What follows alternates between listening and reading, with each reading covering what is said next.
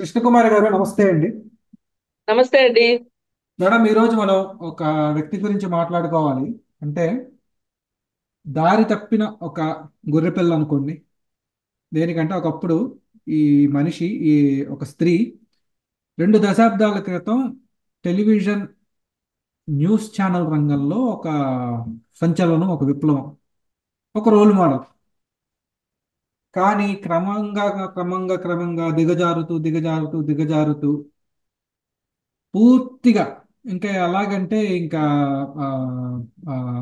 Blue మీడియాకి mouth piece కింద అయిపోయింది ఆవిడ. వీళ్ళు బ్లూ మీడియా ఎల్లో మీడియా అంటూ ఉంటారు కదా. నేను బ్లూ మీడియా అని దేనికి అంటున్నానంటే మెలైన్ చేయడమే వాళ్ళ దీని కింద అయిపోయింది. ఏ స్థాయికి దిగజారిపోయిందంటే ఈవిడ జేపీ గారిని కూడా నాగభైరవ జయప్రకాష్ చౌదరి అని పిలిచే స్థాయికి దిగజారిపోయింది ఆవిడ. ఆవిడ ఎవరో కాదు యాంకర్ స్వప్న.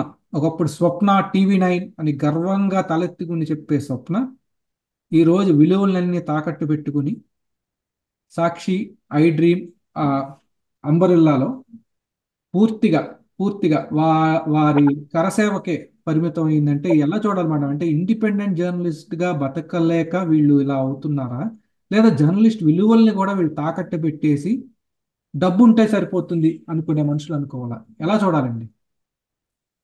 అంటే మొదటగా అండి అసలు మనం జర్నలిస్టులు వాళ్ళ విలువలకి సంబంధించి మనం ఒక ముక్క మాట్లాడుకోవాలండి. ఇది ఏ జర్నలిస్ట్ కైనా వర్తిస్తుంది. అదేంటి అంటే ఒకప్పుడు చింతామణి అని ఒక జర్నలిస్ట్ ఉండేవాడు. ఆయన మెడ్రాస్లో ఉండేవాడు. అంటే పాత మద్రాసు రాష్ట్రంలో ఉండేవాడు. అయితే ఆయన ఎలా అంటే అసలు నీళ్ళకి నీళ్ళు పాలకు పాలు హంస ఎట్లా చేస్తుందో అట్లా చేసే జర్నలిస్ట్ అన్నమాట. ఆయన జవహర్ లాల్ నెహ్రూని విమర్శించారు. అంటే విధానాలు నచ్చినప్పుడు. అలాగే ఇందిరాగాంధీని కూడా విమర్శించారు. అంటే వీళ్ళు పొద్దున్నే లేస్తే అసలు చింతామణి గారు ఏం రాశారు మన గురించి? మనము ఆయన రాశారు అంటే దీని సంగతి ఏంటో చూడాలి. అంటే ఇది ఇది ఖచ్చితంగా పరిష్కరించవలసిన సమస్యే. ఆయన దృక్కోణంలో పరీక్ష పరిష్కరిస్తేనే ప్రజలకు న్యాయం జరుగుతుంది అనేంత గొప్ప జర్నలిస్ట్ అండి. అయితే మరి మామూలుగా అసలు గొప్ప జర్నలిస్టుల్ని ఇలా ప్రజా సమస్యల్ని ఆ ఎత్తి చూపించి అలాగే పరిష్కారం చేసే దిశగా ఆ ప్రభుత్వాలను కూడా నిలదీయగలిగిన తత్వం ఉన్న జర్నలిస్టులు తక్కువ మందే ఉంటారు ఖచ్చితంగా. అయితే ఆ తక్కువ మందిలో ఈయన అగ్రగణ్యుడు. అయితే మరి ఈయన ఎంచుకున్న పందా ఏంటి? మరి నా దగ్గర ఇంత విద్వత్తు ఉంది నా కళానికి ఇంత పవర్ ఉంది ఆ, నేను సమస్యని సమస్యలాగా చూడగలుగుతున్నాను. ఇది దీ- ఇది ఎవరికి నచ్చినా ఎవరికి నచ్చకపోయినా ఎవరికి కష్టం కలిగించినా నేను మటుకు నా నా పని నేను నా కర్తవ్యాన్ని నేను నిర్వర్తిస్తాను అనే పద్ధతిలో ఆయన ఉండేవాడు. అయితే ఒకసారి ఇందిరాగాంధీ గారు ప్రధానమంత్రిగా ఉన్న సందర్భంలో ఆయన ఆయన చనిపోయారు. ఇది చాలా హఠాత్తుగా జరిగిన సంఘటన. అయితే ఆయన చనిపోయినప్పుడు ఇందిరాగాంధీ గారికి ఫారెన్ ట్రిప్ వెళ్ళాలి. ఆమె ఇంకా ఆల్మోస్ట్ ఫ్లైట్ ఎక్కాలి. ఆ టైంలో తెలిసింది. మరి విదేశీ పర్యటనని క్యాన్సిల్ చేసుకుని ఆవిడ మద్రాసుకు వచ్చి వాళ్ళ ఇంటి దగ్గరికి కారు వెళ్ళదండి. ఆ జర్నలిస్ట్ ఇంటి దగ్గరికి కారు వెళ్ళదు. అది సీఎం అవనివ్వండి పిఎం అవనివ్వండి ఏమన్నా అవనివ్వండి. ఆమె అక్కడ దిగి కా ఎంతవరకు కారు వెళుతుందో వెళ్ళి ఆ కారు దిగి నడుచుకుంటూ వెళ్ళి శ్రద్ధాంజలి ఘటించిందండి. ఇలాంటి జర్నలిస్టుల చరిత్రలు మనం చదువుకుంటే మనకి ఒళ్ళు గొగురుపాటు పొడుస్తుంది. ఒకంత మన మీద మనకి ఆ ఆ స్థాయిలో ఉండకపోవచ్చు. కానీ ఏదో ఒక స్థాయిలో అలాంటి నిబద్ధత ఉండాలి అనిపిస్తది. నిజమైన జర్నలిస్ట్కి అయితే లేదు అనుకోండి నేను ఆ పత్రికాధిపతులు ఇచ్చిన ట్యూన్స్కి నేను డాన్స్ వేస్తాను అంటే కూడా అది వాళ్ళ ఇష్టం వాళ్ళ వ్యక్తిగతం. కానీ ఒక వృత్తిలోకి వచ్చాము అంటే వృత్తికి మట్టుకు న్యాయం చేయాల్సిందే. నేను జర్నలిస్ట్ని అని కాల్ రెగరేసుకుని చెప్పుకోదలుచుకున్నప్పుడు కొన్ని అసలు ఈ జర్నలిజం విలువలేంటి? మనము ఏ పాత్ర పోషించాలి? ఎందుకు పోషించాలి? ఎవరి కోసం పోషించాలి? ఎలా పోషించాలి అనే దాని మీద కూడా మనకి ఎంతో కొంత ఒక నిబద్ధత అయితే మట్టుకు అవసరం. ఒక పక్క ఇది ఒక వృత్తి చేసుకుంటూ ఇంకొక ప్రవృత్తిని ఆరాధించుకుంటూ తిరగ తిరగడం కుదిరే పని కాదు. మనస వాచ కర్మణ మన వృత్తి ప్రవృత్తి రెండు జర్నలిస్ట్ ఒక జర్నలిస్ట్లో ఉంటేనే తప్పితే ఇంత నిబద్ధత కుదరదు. మరి ఆయన అంత పెద్ద జర్నలిస్ట్ అయ్యుండి ఇంటికి వెళ్ళడానికి కారు కూడా రానంత దూరంలో ఆయన ఉన్నారు అంటే అంత సింపుల్గా ఉన్నారు అంటే అంత నిజాయితీగా ఉన్నారు అంటే మరి ఈ రోజు మనం మాట్లాడుకుంటున్నాం కదా మనమే కాదు. ఈ జర్నలిజము అనేది ఉన్నంత వరకు మాట్లాడుకుంటూనే ఉంటారు ఆయన్ని. ఆయన గురించి. ఆ పేరుని ఎంతమంది ఆ రాజకీయ నాయకులు వాళ్ళ పిల్లలకు పెట్టుకున్నారు కమ్యూనిస్ట్ నాయకులు కూడా చాలా మంది ఆ చింతామణి అనే పేరు పెట్టుకున్నారు. అయితే ఆయన ఎంత సింపుల్గా ఉన్నారు అనే దాన్ని ఆ మనం ఒక్క ముక్కలో చెప్పుకోవాలి అంటే ప్రతిరోజు పొద్దున్నే ఆయన బయటికి నడుచుకుంటూ వచ్చి ఆయనకు వాహనం లేదు. ఫలానా చోట బట్టి కొట్లు అప్పుడు పేపర్లు ఇంటికి వచ్చేవి కాదు కదా. పేపర్ కొనుక్కుని ఫలానా హోటల్కి వెళ్ళి అక్కడ కాఫీ తాగుతూ ఆయన పేపర్ చదువుకుంటూ ఆయన దినచర్య మొదలయ్యేది. వాళ్ళు ఇంత పెద్ద జర్నలిస్టు మా హోటల్కి రావడమే గొప్ప అని కాఫీ ఉచితంగా ఇస్తానంటే కూడా ఆయన తీసుకునేవాళ్ళు కాదు అంతటి నిబద్ధత ఉన్న జర్నలిస్టులు నడయాడిన నేల మనది అదే జర్నలిస్టులో అదే నేల మీద ఇవాళ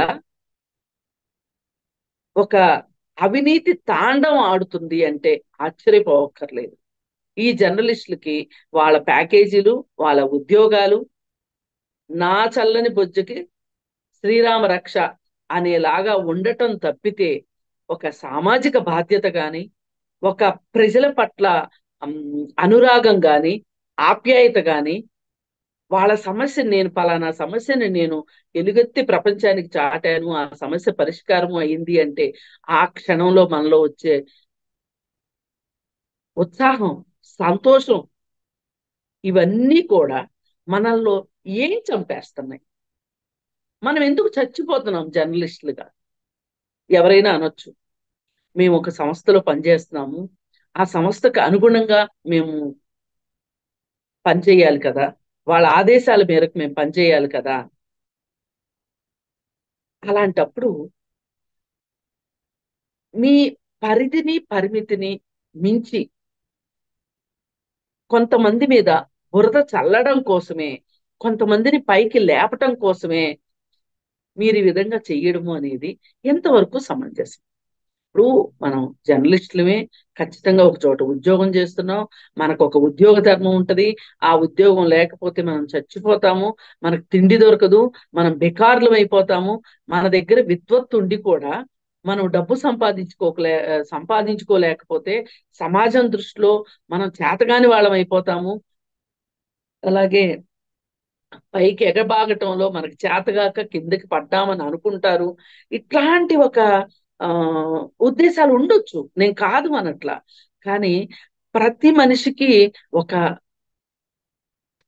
టెస్ట్ మోని అంటారు. ఒక పరీక్షా కాలం వస్తుందండి. ఆ పరీక్షా కాలం వచ్చినప్పుడు మటుకు ఏ వృత్తిలో ఉన్నవాళ్ళు ఆ వృత్తి ధర్మాన్ని విలువల్ని పాటించాలి. అలా పాటించకపోతే కాలగర్భంలో కలిసిపోతారు. ఇప్పుడు మరి ఇందాక మనం మాట్లాడుకున్న చింతామణి గారు ఈ రోజుకి ఎందుకు గుర్తు చేసుకుంటున్నాం మనం? అందుకని కానీ దురదృష్టవశాత్తు ఇప్పుడున్న కాలంలో ఈ కాలంలో జర్నలిస్టులు దాదాపు ఒక పది సంవత్సరాల నుంచి అండి ఈ- ఈ వరవడి ఎక్కువైపోయింది. అంటే ఎప్పుడైతే పేపర్లు వాళ్ళ పార్టీలకి అనుసంధానంగా అంటే పార్టీని నడిపించుకోవాలి అంటే మనకు ఒక వార్తాపత్రిక ఉండాలి ఒక న్యూస్ ఛానల్ ఉండాలి అనేది ఎప్పుడైతే మొదలయ్యిందో అప్పుడే ఆంధ్ర రాష్ట్రంలో జర్నలిస్టు విలువలు పతనమైనవి మొదలై చెప్పుకోవచ్చు. అంతకుముందు కూడా ఫలానా పార్టీకి ఫలానా పార్టీకి ఫలానా ఛానలు కొంచెం వత్తాసు పలుకుతుంది.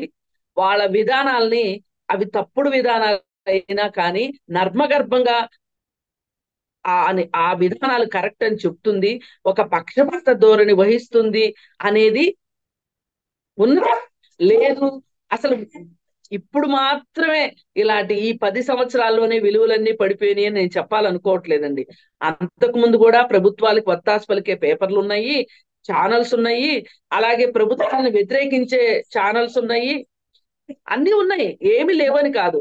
కానీ దురదృష్టవశాత్తు ఒక రెండు ఘటనలు మన దేశంలో ఒకేసారి సంభవించినాయి. అదేంటి అంటే కాంగ్రెస్ గవర్నమెంట్ అంటే యూపీఏ గవర్నమెంట్ సెంటర్లో ఓడిపోవటము బీజేపీ గవర్నమెంట్ అక్కడ రావటము ఇదంతా ఉన్న సందర్భంలో అతనికి ఖచ్చితంగా అధికారంలోకి రావాల్సిన అవసరం పడింది అతనికి. అయితే ఆ సందర్భంగా అప్పటికే సాక్షి పేపరు సాక్షి టెలివిజన్ ఉన్నాయి. ఆ ఉన్న వాటితోటి ఆ పేపర్ తోటి ఆ టెలివిజన్ తోటి ఆ, న్యూస్ ఛానల్ తోటి తను మంచివాణ్ణి తను వైఎస్ రాజశేఖర్ రెడ్డి గారికి అసలైన సిసలైన వారసుని అనిపించుకోవటం కోసం ఆయన కాంగ్రెస్తో తగాదా పెట్టుకోవడము తగాదా పెట్టుకొని ఏమైనా సరే అధికారం తప్పి దక్కించుకోవాలని చాలా కంకణం కట్టుకుంటే ఆ టైంలో అప్పటికే రెండు సార్లు సీఎంగా పనిచేసిన అనుభవం ఉన్న ఆ చంద్రబాబు నాయుడు ముందు జగన్ ఓడిపోవటం జరిగింది. అయితే జరిగి అయినా గాని ఆ తరువాత ఎంతో కొంత మోడీ వత్తాస్ తోటి ఇది అండర్లైన్ అండి. ఇది ఇది మార్చుకోవాల్సిన అవసరం నాకైతే లేదు. అతను మోడీ సహాయంతో ఐదు సంవత్సరాల పాటు అతను అతని కేసులు ఏ మాత్రం కొలిక్కి రాకుండా అతను అతని మీద ఏ విధమైన చర్యలు తీసుకోకుండా అతను అతన్ని కాపాడుకోగలిగాడు. రాజకీయాల్లో నిలదొక్కుకోగలిగాడు. అదే సందర్భంలో పాదయాత్రలు చేయటము ఆ పాదయాత్రల సందర్భంలో ఆ చంద్రబాబు నాయుడు ప్రభుత్వ విధానాలని ఎండగట్టడం అలాగే తన పేపర్లో తన ఆ, ఛానల్లో ప్రభుత్వానికి వ్యతిరేకంగా వార్తలు రాయించటము తిమ్మిని బమ్మిని చేయడము ఇవన్నీ ఒక పథకం ప్రకారం చేసుకుంటా వచ్చారు. ఈ సందర్భంలోనే ఆ, కొంతమంది అప్పటి వరకు తెలుగుదేశం పార్టీలో అభిమానులుగా ఉన్నవాళ్ళు కావచ్చు తెలుగుదేశం పార్టీ అంటే ఎంతో కొంత సింపతి ఉన్న వాళ్ళను కూడా ఆ ఏదో ఒక రకంగా వాళ్ళ వ్యక్తిగత కారణాలు కావచ్చు ఆ కొంతమంది జర్నలిస్టుల్ని సాక్షి పేపర్కి అలాగే సాక్షి ఛానల్కి మార్చుకోవటం కూడా జరిగింది.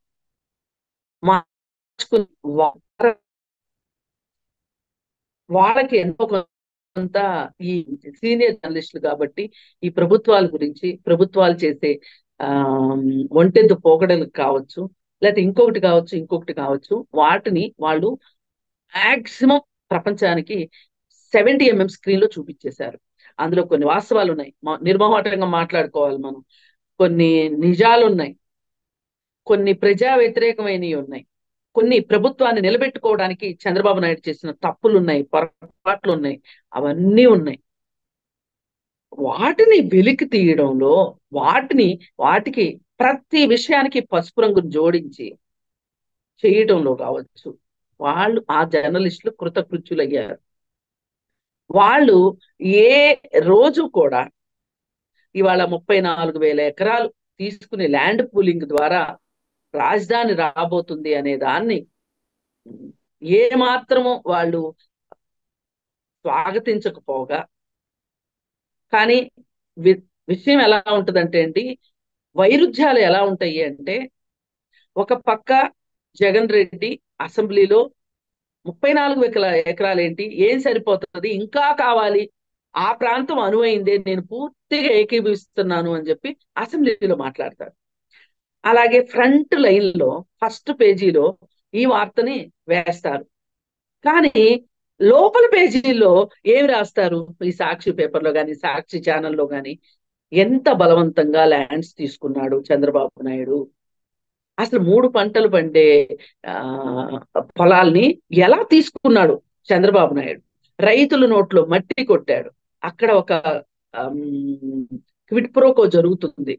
తెలుగుదేశం వాళ్ళకే చెప్పుకుని నేను అక్కడ రాజధాని తీసుకొస్తున్నాను అని చెప్తే వాళ్ళందరూ వచ్చి అక్కడ పొలాలు ఎలా కొనుక్కున్నారు? ఇట్లా రకరకాల వార్తలు సాక్షి ద్వారా విరజమటం మనం చూసాం. ఒక ద్వేషాన్ని పెంచి పోషిస్తూ వచ్చారు అమరావతికి వ్యతిరేకంగా. అలాగే కొంతమంది బెదవల చేత ఆ కూకట్పల్లి ఆంటీలు అనిపించటం పెయిడ్ ఆర్టిస్టులు అనడం ఇలా రకరకాలు వీటిని ప్రచారం చేసుకుంటూ వెళ్ళారు. చేసుకుంటూ వెళ్ళి అయిపోయిన తర్వాత ఇంకా చివరిగా ఈ ఈ మొత్తం ప్రస్థానంలో జరిగిన దాంట్లో పద్నాలుగు నుంచి పంతొమ్మిది వరకు అధికారం రాబట్టుకోవడానికి ఎంత చెయ్యొచ్చో సాక్షి పేపరు సాక్షి ఛానల్ అంత చేసింది. అయితే మనం ఇదంతా సాక్షి గురించి ఎందుకు మాట్లాడుకుంటున్నాము అంటే సాక్షిలో ఒక ఈమె ఒక్కటే లేదండి. ఇంకా చాలా మంది జర్నలిస్టులు ఉన్నారు ఇలాంటి జర్నలిస్టులు. వాళ్ళందరూ కలిసి ఇలా అబద్ధాలు ప్రచారం చేసుకుంటూ వచ్చారు. ఎట్టకేలకి రెండు వేల పంతొమ్మిదిలో వాళ్ళకి అధికారం దొరికింది. ఈ అధికారం దొరికిన దగ్గర నుంచి వీళ్ళు అంతకుముందు లోకేష్ని సీఎం చంద్రబాబు నాయుడు ఎమ్మెల్సీ ద్వారా మంత్రి ఇవ్వటాన్ని ఎంతలా వీళ్ళు వ్యతిరేకించారు. పప్పు పప్పు అని ప్రచారం చేయటంలో కావచ్చు. ఇలా ఎన్నో చేశారు. కానీ ఒక్క మాట వీళ్ళకి అర్థం కాలేదు. మరి వైఎస్ రాజశేఖర రెడ్డి కొడుకుగా జగన్మోహన్ రెడ్డికి రాజకీయాల్లోకి వచ్చే హక్కు ఉన్నప్పుడు ఆయన ఎంపీగా పోటీ చేయగలిగిన అర్హత ఆయనకు ఉన్నప్పుడు లోకేష్ రా ప్రత్యక్ష రాజకీయాల్లో వస్తే ఏంటి? దాన్ని ఎందుకు వీళ్ళు వ్యతిరేకించారు అంటే వీళ్ళు చెప్పేది ఒకటే. కోడిగుడ్డు పైన ఏకలు పీకినట్లు. అతన్ని ఎమ్మెల్సీ చేసి మంత్రిని చేశారు. అతను ప్రజాక్షేత్రంలో గెలవలేదు. ఏది ఏమైనా ఈ ఈ మొత్తం దీంట్లో ఈ యాంకర్ స్వప్న పోషించిన పాత్ర అద్వితీయమైనది ఇంకా కొంతమంది జర్నలిస్టులు కూడా ఉన్నారు. అంటే వీళ్ళు ఎలా చేశారు అంటే వీళ్ళ దగ్గర ఉన్న స్కిల్స్ తోటి వీళ్ళ దగ్గర ఉన్న నైపుణ్యాలతోటి టీవీ నైన్లో ఆమె పనిచేసిన ఆ తర్పీదుతోటి అలాగే అనుభవంతో నైపుణ్యంతో ఆమె పూర్తిగా ఒక రకంగా సాక్షి ఛానల్లో ఆమె పాత్రను ఆమె పోషించింది. పోషించి రెండు వేల పంతొమ్మిదిలో జగన్మోహన్ రెడ్డి అధికారంలోకి వచ్చిన తర్వాత ఇంకప్పుడు అసలు సినిమా అప్పుడు స్టార్ట్ అయింది. ఇంకప్పుడు ఇంకేమే ఒక్కొక్కసారి ఇండిపెండెంట్ జర్నలిస్ట్గా ఒక్కొక్కప్పుడు ఐ డ్రీమ్స్లో పనిచేసే వ్యక్తిగా ఒక్కొక్కప్పుడు ఇలా రకరకాల పాత్రలు పోషించి ఏ పాత్రలోనైనా తను బాగా ఒదిగిపోగలదండి. పాత్రకు మట్టుకు న్యాయం చేస్తుంది. ఈ పాత్రకు న్యాయం చేసే ప్రాసెస్లో ప్రజలేమయ్యారు అని మీరు అడగొద్దు. అసలు ఎక్కడ మన మన దృష్టిలో ప్రజలు ఉండరు మన ఏకైక లక్ష్యం ఏంటి అంటే మనల్ని నమ్మి ఒక ఆ ఏమంటారు దాన్ని? ఆ ఒక బాధ్యతను ఇచ్చారు అని ఒక ఆపరేషన్ టీడీపీ అనే దాన్ని ఈమె చేతిలో పెట్టినందుకు గాను ఆ ఆపరేషన్ టీడీపీని ఈమె ఎట్లా చాకచక్యంగా చేసుకుని వచ్చింది అనేది ఈ ఐదేళ్ళ కాలంలో ఆమె నిరూపించుకున్నది. అక్కడ ఎక్కడ ప్రజా సమస్యలు లేవు. ఓ పక్క టీచర్లను సన్నద్ధం చేసుకోకుండా ఈ అనుచితమైన నిర్ణయాలు తీసుకొచ్చాడే జగన్మోహన్ రెడ్డి అని ప్రశ్నించింది లేదు. చాలా మెగా డిఎస్సి వేస్తానన్నాడు వేయలేదనేది లేదు. అసలు ఆశ్చర్యం అండి. దశల వారీగా మద్యపాన నిషేధం చేస్తాను అని చెప్పి జగన్మోహన్ రెడ్డి చెప్పి దానికి పూర్తి భిన్నంగా దానికి తిలోదకాలు ఇచ్చేసేసి తనే సొంత డిస్టిలరీస్ పెట్టించి తనే సొంతగా మద్యం అమ్ముతుంటే ఈ ఈ మహిళామణికి దానిలో మతలపు అర్థం కాలేదండి. దాని గురించి ప్రశ్నించాలనిపించలేదండి. ఓ పక్క అక్కడ ఆన్లైన్ ట్రాన్సాక్షన్స్ లేవు. కేవలం డబ్బు ట్రాన్సాక్షన్సే. అలాగే ఈ కల్తీ మద్యం పైగా విపరీతమైన రేట్లు పెంచటం దీనివల్ల దశల వారీగా మద్యపానం ఏమో గాని దశల వారీగా మహిళల పైన హింస పెరిగింది కుటుంబాల్లో. ఈ హింసకి కారణం జగన్మోహన్ రెడ్డి అయితే ఆ హింసని ప్రశ్నించిన వాళ్ళు ఆ హింసకి కారణమైన విషయాన్ని ప్రశ్నించిన వాళ్ళు పరోక్షంగా వాళ్ళు కూడా దోషులే. జగన్మోహన్ రెడ్డి మాత్రమే కాదండి ఇందులో దోషి. దాన్ని ప్రశ్నించిన వాళ్ళు కూడా దోషులే. మరి ఇలా ప్రశ్నించిన కాడికి మనం జర్నలిస్టు అని చెప్పుకోవటానికి ఎనలిస్టు అని చెప్పుకోవటానికి లేదు ఈ ఈ సంబంధిత రంగాల్లో ఉద్యోగం చేయడానికి మన మనసు ఎలా ఒప్పుతుందండి? నేను అందుకే మొదట్లో అన్న నా చిన్ని పొట్టకి శ్రీరామ రక్ష అనుకుంటున్నామా? ఒక బాధ్యతతో ఉంటున్నామా? జర్నలిస్ట్ అనేది ఒక టీచర్ ఉద్యోగం లాంటిదో ఒక బ్యాంక్ ఉద్యోగం లాంటిదో కాదండి. చేసేసి ఇంటికి వచ్చిన తర్వాత ప్రశాంతంగా ఉండటానికి. జర్నలిస్ట్కి తల చుట్టూ కళ్ళు ఉండాలి ఆలోచించే మెదడు ఉండాలి నిర్ణయం తీసుకునే ధైర్యం ఉండాలి. ప్రశ్నించగలే ముక్కుసూటితనం ఉండాలి. కానీ వీటన్నిటికీ వెనక ప్రజలు ఉండాలి ఆ ప్రజలు లేని కాడికి మీకు ఈ లక్షణాలన్నీ ఉన్నా తప్పే. కానీ దురదృష్టం ఏంటి అంటే ఈ లక్షణాలన్నీ ఉన్నాయి.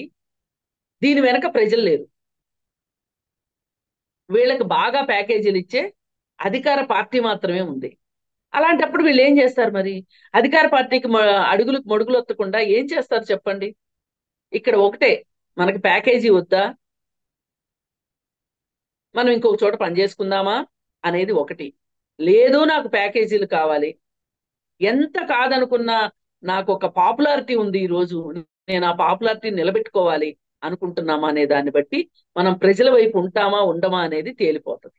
అలా ప్రజల వైపు ఉండదలుచుకోని వాళ్ళు ప్యాకేజీలు మాత్రమే కావాలనుకునే వాళ్ళు ఒక పాపులారిటీ కావాలి అని ఇంకా మనకి అసలు ఇదేంటి అదేంటి అని మనం అనుకోకర్లా ఒక్క క్లారిటీ ఏంటి అంటే వీళ్ళ వెనక ప్రజలు లేరు. ప్రభుత్వాలు అధికారంలో ఉన్న ప్రభుత్వాలు మాత్రమే ఉన్నాయి ప్యాకేజీలు మాత్రమే ఉన్నాయి. మరి ఒక రకంగా చూస్తే ఈ స్వప్న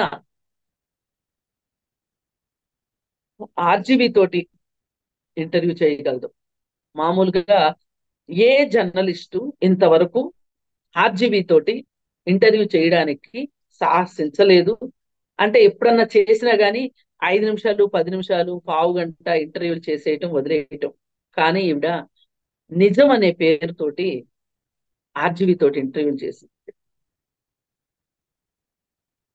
అందులో నిజాలు ఎన్ని ఉన్నాయి అనేది పక్కన పెట్టండి. కానీ దాని మెయిన్ ఇదేంటి నిజం అనేది మరి అలా ఒక రకంగా ఆర్జీవి తెలివితేటల్ని ఈమె బాగానే పంచుకున్నారు అనిపించింది మధ్యలో మధ్యలో ఆవిడ అంటూ ఉండేది కూడా. మీ దగ్గర నేను చాలా నేర్చుకున్నాను చాలా నేర్చుకున్నాను. కరెక్టే నేర్చుకుని ఏంటి చేశారు? మీరు ఏం నేర్చుకున్నారు? ప్రజల్ని తికమక పెట్టడం ఎట్లా? ప్రజలకు అర్థమయ్యే అర్థం కాకుండా మాట్లాడటం ఎట్లా? పిచ్చి పిచ్చి తర్కాలు తీసుకుని వచ్చి మళ్ళీ ప్రజలకే సున్నపొట్లు పెట్టడం ఎట్లా? మీరే సరిగా అర్థం చేసుకోలేదు అని ప్రజలనే ఆత్మన్యూనతకి గురి చేయటం ఎట్లా? వాళ్ళకి వాళ్ళే చనిపోయిన వాళ్ళు ఉన్నారు. ఇది గుర్తుపెట్టుకోవాలి. ఆ రోజు మీరు మాట్లాడాల. ఒక డాక్టర్ సుధాకర్ దళితుడు చనిపోవటానికి మీరు రాసిన పిచ్చి రాతలు మీరు మాట్లాడిన పిచ్చి మాటలు అతను నిజంగా పిచ్చివాడి చేసేసినాయి అతను అతని ప్రాణాన్ని బలి తీసుకున్నాడు. కోడికత్తి సీను జీవితం ఐదు సంవత్సరాలు జైల్లో మగ్గిపోయింది అంటే మీకు కించిత్ కూడా చీమ పుట్టినట్లు కూడా అనిపించలా? మరి ఒక ఎమ్మెల్సీ డ్రైవర్ని చంపి డోర్ డెలివరీ చేస్తే మీరు మాట్లాడాలి?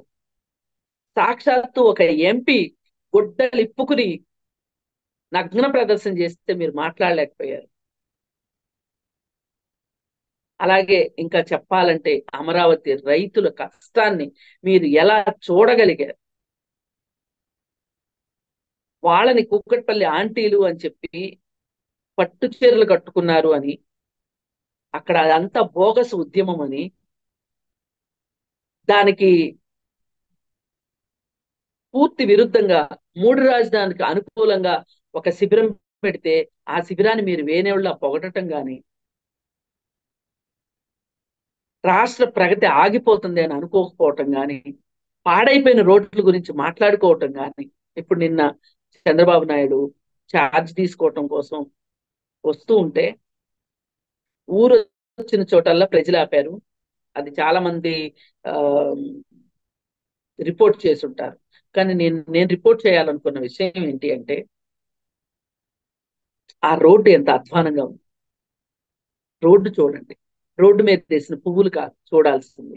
ఆయనకి నిజార నీరాజనాలు పలికింది కాదు చూడాల్సింది. ఆ ఊర్లకి ఊర్లకి అక్కడ పువ్వులు వేయడం వల్ల రోడ్డు కనిపించలేదు కానీ ఆ ఊరు దాటిన తర్వాత ఇంకొక ఊరు వచ్చే లోపు రోడ్డు ఎలా ఉందో చూడండి. రాజధానికి వెళ్ళే రోడ్డే అలా ఉంది అంటే రాష్ట్రం ఎంత నిర్లక్ష్యానికి గురైందో చూడండి. ఇదండి మనం చూడాల్సింది. ప్రజలు ఆహా అన్నారు నీరాజనాలు పలికారు జెండాలు ఊపారు పిల్లల్ని పిల్లలకు పసుపు పట్లేసి అసలు ఇంక వాళ్ళకి జీవితంలో సంతోషాన్ని జీవితంలో మొదటిసారి చూస్తున్నారు. ఇట్లాంటివన్నీ చాలా నేను కామెంట్స్ అన్ని విన్నాను. నాకు అవేవి కనిపించలేదు వినిపించలేదు. చూశాను కాదనట్లా. అని అక్కడ రోడ్డు చిన్న రోడ్డు అండి. రాజధానికి వెళ్ళే రోడ్డు అలాగా ఉండేది. మరి ఈ రోడ్డే ఎలా ఉంది అంటే ఆంధ్రప్రదేశ్లో రోడ్ల గురించి ఎంతో మంది ఎన్ఆర్ఐలు కావచ్చు వాళ్ళు కావచ్చు వీళ్ళు కావచ్చు మాట్లాడుతుంటే మీరు ఎందుకు మాట్లాడలేదు? మరి స్కూల్ బిల్డింగులకి పార్టీ ఆఫీసు పార్టీ జెండా రంగులు వేస్తుంటే మీకేమనిపించలేదా? అది కరెక్ట్ అనే అనిపించిందా మీకు? అలాగే సాక్షి పేపర్ని కొనిపించారు. ఇంకే పేపర్ ఇవ్వటానికి వీలు లేకపోకుండా సాక్షిని మాత్రమే కొనిపించారు. మీ అధికారం పడిపోగానే పన్నెండు లక్షలకి పన్నెండు లక్షల సర్క్యులేషన్ తగ్గింది. ఇది అధికార దుర్వినియోగం కాదా? ఇది ఎందుకు కనిపించలేదు మీకు? అంటే ప్రజల్ని సాక్షి పేపర్ మత్తులో ఉంచాలి సాక్షి ఛానల్ మాత్రమే చూడాలి చూసి మురిసిపోవాలి మా చిక్కటి చిరునవ్వులు చూస్తూ దుఃఖానికి సంతోషానికి తేడా తెలియని ఒక ముఖ్యమంత్రిని చూస్తూ వాళ్ళు కూడా అదే విధమైన నవ్వుల్ని ప్రాక్టీస్ చేయాలి అలాగే పొటాటోకి ఏంటండి? ఉల్లిగడ్డ ఉల్లిగడ్డకి పొటాటో అంటారు ఆనియన్కి ఆనియన్కి పొటాటోకి అసలు ఏంటి? ఆనియన్ అంటే ఏంటి అనేది ఆయనకి అది కూడా తెలియదని నేను అనుకోను. తెలియదని నేను అనుకోను. నేను ఎన్నో అబద్ధాలు చెప్తున్నాను. ఆ అబద్ధంలో ఈ నిజాన్ని చెప్పడం ఎంతవరకు కరెక్ట్ అని చెప్పి పాపం ఆయన అయోమయానికి గురయ్యాడు. అది కూడా మీకు అర్థం కాలేదు. కాదు మేడం అది ఆయనకి పాయింట్ ఉంది. ఎప్పుడైతే ప్రభుత్వానికి చెడ్డ పేరు వస్తుందో డైవర్షన్ టాక్టిక్స్ ఇవన్నీ. ఇవన్నీ ఆ అది అది పర్ఫెక్ట్ మాట డైవర్ట్ చేస్తున్నారు. ఆ ఆయన డైవర్ట్ చేసిన విధానాన్ని వీళ్ళు కూడా అంతే విధంగా డైవర్ట్ చేసి అదేదో ఒక పెద్ద విషయం లాగా చేయటం. ఇదంతా మనం గమనించాం.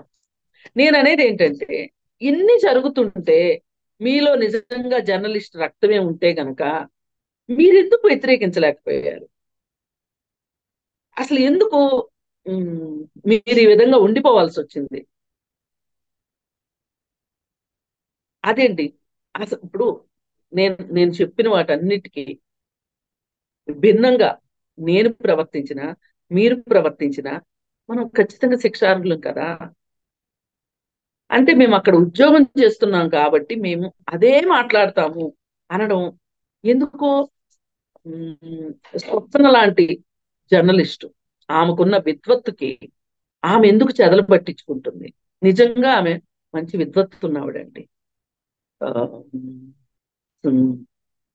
ఆమె కర్ణాటక సంగీతం కానీ లేకపోతే లైట్ మ్యూజిక్ కానీ ఆమె ఎంత ప్రావీణ్యం ఉందో ఆ మనం అలా వింటూ ఉండిపోతాం. అలాంటి ఆ, ఉంది ఆమెకి. ఆమె ఒక రకంగా లైఫ్లో కూడా సర్వైవర్ అండి.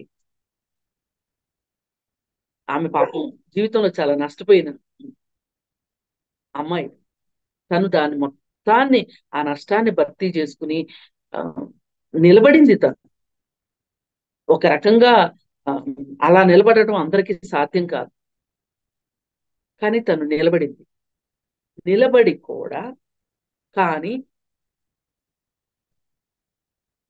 ఇంకొక మాట చెప్పుకోవాలి. ఇక్కడ ఆ మనకి మహిళా కమిషన్ ఒకటి ఉంది ఆంధ్రప్రదేశ్లో. అది పూర్తిగా రాజకీయ పునరావాస కేంద్రం అది.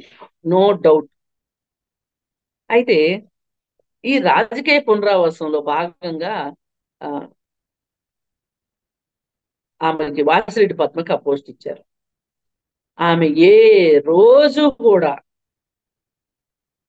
రాష్ట్రంలో మహిళలంతా సంతోషంగా సుభిక్షంగా ఉన్నారు.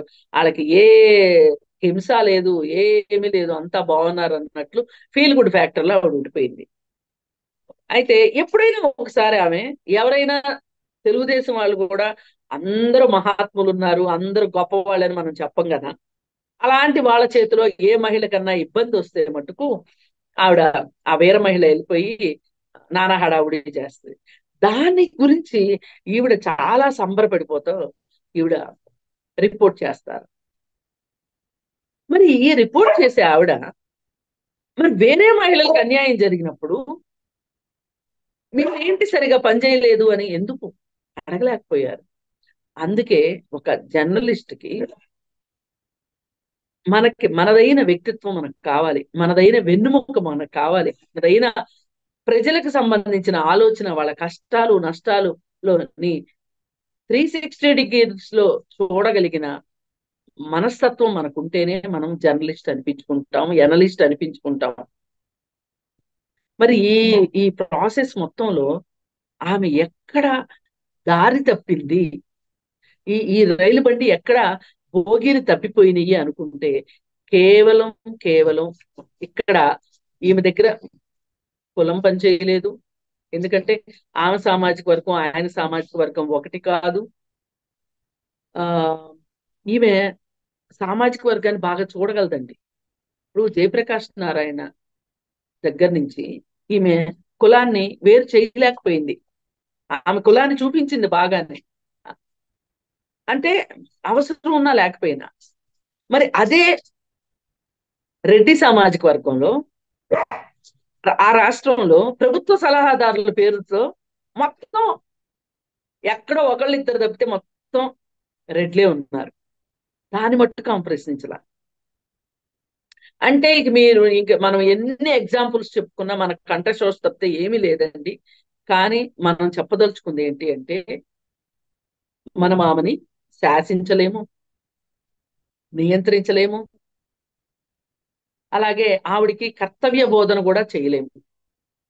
కానీ మనం చెప్పగలిగేది ఏంటి అంటే ఇంకెవరైనా జర్నలిజంలోకి రాదలుచుకుంటే మీ దగ్గర మీకు ఏమైనా సరే ప్రజలే నా నాకు ప్రజల కోసమే నేను ఉంటాను అని అనుకోవాలి అనుకుంటే గనక ఇలాంటి ఎగ్జాంపుల్స్ మట్టుకు తీసుకోకండి. వీళ్ళు ఏ మాత్రము కొత్తగా వృత్తిలోకి వచ్చేవాళ్ళు కానీ ఎదుగుతున్న వాళ్ళకి మట్టుకు వీళ్ళు ఎగ్జాంపుల్స్ కాదు అని మాత్రం నేను చెప్పగలను. కానీ ఒక ఎగ్జాంపుల్గా ఉంటే ఆ వచ్చే కిక్కే వేరబ్బా అంటారే. ఆ కిక్ని వీళ్ళు అనుభవించలేకపోతున్నారు. వీళ్ళ కిక్ అల్లా డబ్బులు. నామస్మరణ తప్పితే వేరే ఏమీ లేదు ఈ రేపు కూడా మీరు పైగా ఇంకొకటి చూశానండి. నిన్న మొన్న ఒక రెండు నెలల క్రితం వీడియో అనుకుంటా ఒక వీడియో చూశాను దాంట్లో వైజాగ్ పోర్ట్లో మాదక ద్రవ్యాలు పట్టుపడ్డాయి దానిపైన చంద్రబాబు నాయుడు యాగి చేశాడు గందరగోళం చేశాడు.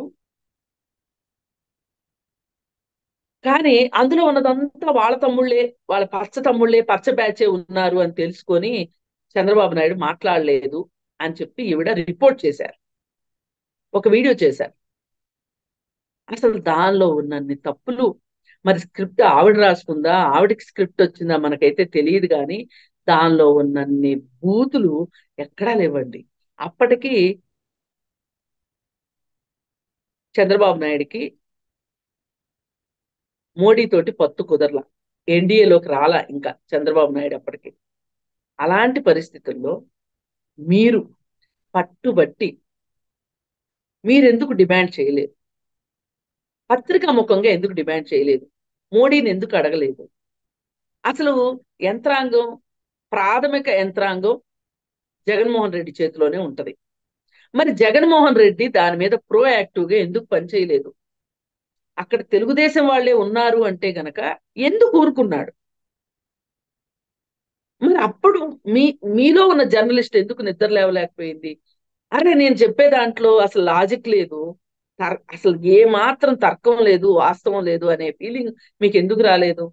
ఎలా పట్టుకొచ్చారంటే దాన్ని దగ్గుపాటి పురంధరేశ్వరి మాజీ వియ్యంకుడి కంపెనీ అంటది.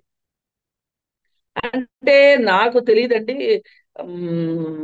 విడాకులు అయిపోయిన తర్వాత కూడా ఆ కుటుంబాల మధ్య అంత సత్సంబంధం ఉంటుందని అయితే భారతదేశం అయితే నేను ఊహించలేనండి. ఎందుకంటే ఫ్యామిలీ కౌన్సిలింగ్లో నాకు తెలుసు ఎంత శత్రు బద్ద శత్రువులుగా మారిపోతారో విడాకులు తీసుకున్న తర్వాత.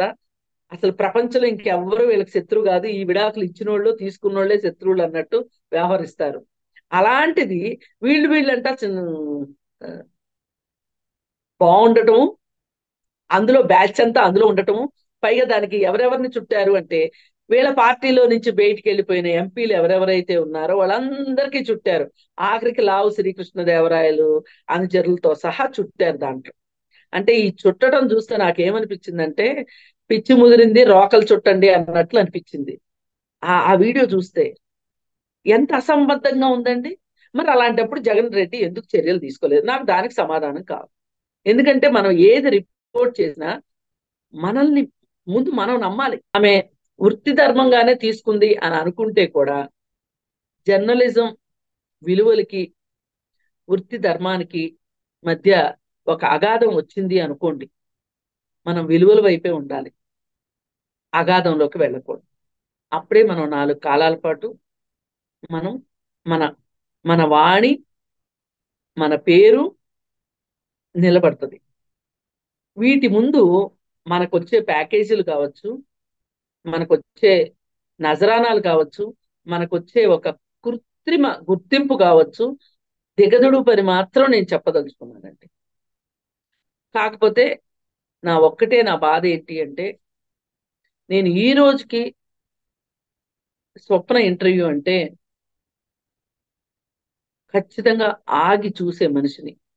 అలాంటిది నాకు కూడా ఒక విరక్తి భావం వచ్చి అంటే తను రిపోర్టింగ్ చేసే నేచర్ కానీ తను ఎక్స్ప్రెస్ చేసే విధానం కావచ్చు మనసుకి హత్తుకునేటట్లు మెదడులోకి సూటికి వెళ్ళేటట్లు ఉంటుందండి. అలాంటిది మరీ ఒక ఆమె మొత్తం బ్లూ కలర్ వేసేసుకుని ఆ ఆ దానిలోనే మునిగి తేలుతున్న వ్యక్తిగా ఆమె మట్టుకు జగన్ రెడ్డిని ఎంత పైకెత్తాలి? అంటే జగన్ రెడ్డి పైకి రావటం వెనకమాల కూడా ఈమె సహకారం కూడా ఉంది కాబట్టి ఆ చేసే క్రమంలో ఆమె ఎంత అధపాతాళానికి వెళ్ళిందో ఆమెకి ఇంకొంతకాలం తర్వాత తెలుస్తుంది. ధన్యవాదాలు మేడం. జర్నలిస్టులు అనేవాళ్ళు మరీ ముఖ్యంగా బాధ్యత కలిగి ఎక్స్పీరియన్స్ ఉన్నవాళ్ళు అనుభవజ్ఞులు పార్టీలకు మడుగులొత్తు అడుగులకు మడుగులొత్తకుండా వారి విలువలను విశ్వసనీయతను కోల్పోకుండా ఇండిపెండెంట్ జర్నలిస్టులుగా అయినా ఈరోజు ఈరోజు చాలా బాగా బతకచ్చండి. యూట్యూబ్ ఛానల్స్లో కూడా చాలా మంచి పేరు ప్రఖ్యాతులు గడిస్తున్నారు ఎంతో మంది జర్నలిస్టులు దేశంలో.